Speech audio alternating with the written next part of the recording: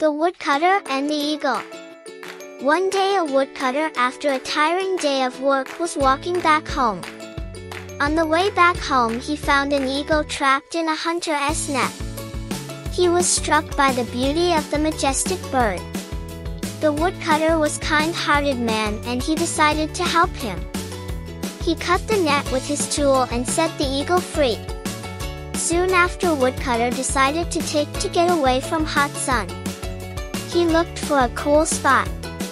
He found a place under the shadow under a stone wall and lay there to sleep. Suddenly the eagle swooped down upon him and picked up his hat and flew away. The bird took to some distance and let it fall.